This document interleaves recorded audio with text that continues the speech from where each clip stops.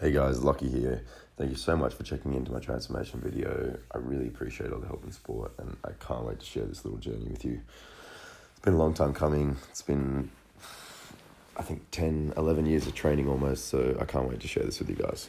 But let's start off as a little mini me in primary school. Just wanted to give you guys a quick look at my genetics as a kid, how I looked, and what my base was. I moved into high school. I'm about 12, 13 years old, super skinny, super trim. I look like my sisters. It's not good. Uh, this stage of my life, I had no idea about training, no idea about food.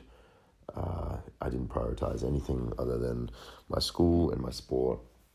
Uh, I used to get teased a little bit. I used to get uh, bullied to the point where I used to get off the bus because boys would call me a string bean and, and poke me and jab me and, and mock me for going to the school that I went. So I used to get off the bus and walk home. Uh, we then move into about 13 and 14, where I went traveling with my parents. As you can see, a couple of Europe photos here.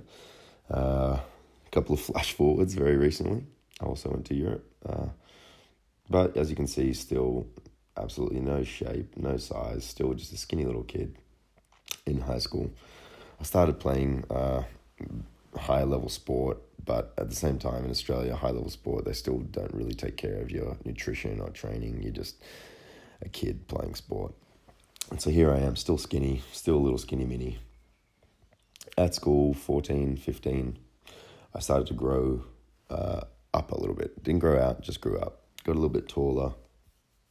Limbs got longer, became even harder to put on any muscle whatsoever at this stage, I wasn't really eating, had no idea about nutrition, no idea about food.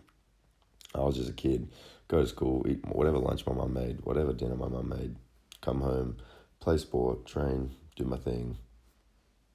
That's it. As you can see, the arms on this kid, oh, the genetics, what a lucky guy. The skinniest mini you'll ever meet. But still, at age 15, 16 here in the suit, so 16 is I know I'm 16 because it was uh, work experience. Starting to fill out a little bit. So obviously eating a little bit more food as I'm going through puberty, etc., etc., but still not really training uh, at this stage. Singlet with my grandma. You can see I've uh, probably started to grow a little bit. So my gym started in my garage with my dad's weights because I was never allowed to watch TV as a kid on a weeknight only ever if I was training or down in the gym. And so I used to go down to the gym every night for about half an hour because I really wanted to watch The Simpsons. And I thought to myself, instead of sitting down here and pretending to train and just watch The Simpsons, I said, I might as well do something. So I went down and I guess I caught a little bug. And I loved it. At the age of 16, 17, I uh, still had no idea what I was doing. I would read online, I would watch other videos, I'd watch people train, I'd watch people eat. And then I realized the thing that I was missing was eating. I, I wasn't eating, I was training, but I wasn't doing the other side of it that made it all come together. And so at age 16, 17, I started going to school and I would stop at the shops on the way and I would buy a two, three litre bottle of full cream milk, a loaf of bread, and peanut butter. And I would sit at school all day, every day, and I would drink all this milk throughout the day, as well as eating my meals, as well as making myself XX sandwiches. And then I would get off the bus on the way home. I would stop at a gym. I would train, and then I would go home every single day, and I absolutely loved it. So here we are in year twelve, and I, you can see photos with my teachers and friends, and this is my last few days of school. So I am eighteen now. You can tell quite a bigger boy, quite a bigger boy than my other friends and students and you can also see how puffy I am in the face and how bloated I am because at this stage I was uh, between 105 and 108 kilos. So that's what happens when you drink three liters of full cream milk every day for two years. After school, I went overseas and I had plenty of time to read and learn about food and its importance in my training and transformation. And so I started to take a little bit more care with it. And I managed to get myself up to 108 and a half kilos, my biggest ever, here with my sister in blue. I hated this weight. I hated how I looked. I hated how I felt. I hated how I performed in the gym, on the basketball court. And so I quickly realized that it wasn't for me and it was time to trim down.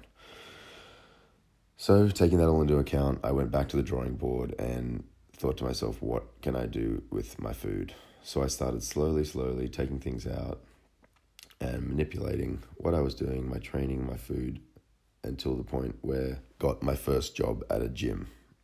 I thought to myself, if I immerse myself in this, I surround myself with like-minded people. Uh, I have no choice but to push myself and to succeed in in this journey that I'm on. And I started my first cut, and these photos are my first photos of my first cut, where I got back. I got down to about eighty-five kilos, so I lost twenty odd kilos in about about a year, a year. So here I'm about uh, twenty, and I loved it because I started uh, getting recognized and I started getting picked up for jobs and work, and companies started getting in contact with me and wanting to use me for their campaigns. And I picked up a couple of really big jobs with a company called Aussie Bum, which is a swimwear and underwear company. And they started taking me around the world, and I thought, taking photos and paying me for these jobs. And I thought this was just absolutely amazing. And so I thought, if this is what I can achieve now, I said, imagine, imagine if I could, if I improved. So I went back to the drawing board and I decided that I was going to do another bulk. And so I started to put on weight now with a little bit more knowledge about food, training. But as you can still see, as I had a little bit more shape to me, still a big boy, still a lot of uh, excess weight. And then it all came time to do it all again. It was time to cut down, but this time I wanted to coach. I wanted to compete and I wanted to get on stage. I wanted to do something different. So I got a coach, and here are the results that we came up with after putting on weight back to the excess of 100 kilos. Jumped on stage, loved it, but at the same time, not for me. We'll probably never do it again. After that, I got to the stage where I just wanted to maintain a healthy weight. I wanted to be in shape. I wanted to train, have a good relationship with food, friends, family, the lot. And because after competing, you sacrifice a lot of those things. So I lived a healthy life for a while, and then I realized I got a little bit bored and I wanted to do it all again. So I decided to put on weight again. And this was going to be the last time I did it, the third and final time that I've done a bulk. So I haven't bulked for about uh, two years now. So this was at age 23 to 24. I put on a lot of weight at university, still training here. You might see the photo, it doesn't look like I train, but I'm still training every day, still taking care of my food. I'm just eating in such an excess of calories that there's no real shape to my body. All my muscles are covered in fat. And so here at university, I started training with a coach seriously, started working on my lifts, working on my strength, like my squats up to 200 kilos which I was very stoked about. But my knees started taking a toll, so that ended pretty quick. But here we are on my uh, journey after my final bulk. And as you can see, new training, my working with a coach, taking extra, extra care of my food and my programming, I was able to come up with my best results ever. I also moved to flexible dieting here. So instead of I would count every I would count and weigh every bit of food that I put in my mouth and so I was a little bit obsessed at this stage, but with my obsession came my results and work and opportunity. And so I was very grateful for that. So these are my final days in the last uh, year or 18 months of what I was able to bring my uh, body and shape to. And I'm very proud of this, but at the same time, I'm never satisfied.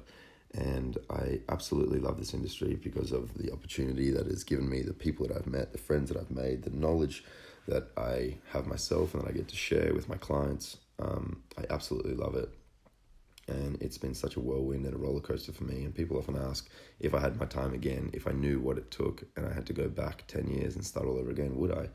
And my answer is always yes, because I had the most amazing time doing this. I absolutely love learning, I love challenging myself. And I honestly am so grateful for everything that has come from this journey and this decision. And I am very proud of myself for not giving up.